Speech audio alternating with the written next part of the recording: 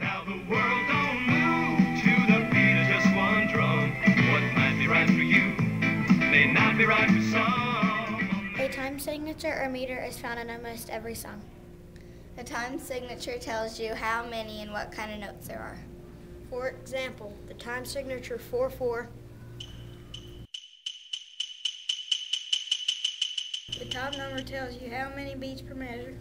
And the bottom number tells you what kind of note gets a beat. Another example for a time signature is 6 eighths.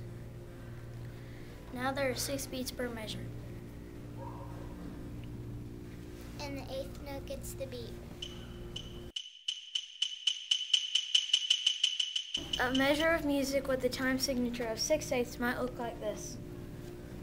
Oh, and don't forget, if you see this symbol, This symbol stands for common time, which also stands for four fourths. keep counting the beats.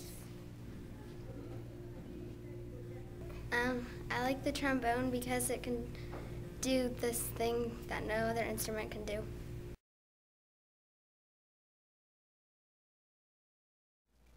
You've got only one lifeline left, my friend. You can phone a friend. Uh, with our friends at AT&T's help, they'll call anybody anywhere in America to see if they can help you out. Glissando. Is that your final answer? Glissando. Have you ever met a time signature that you didn't like? Um,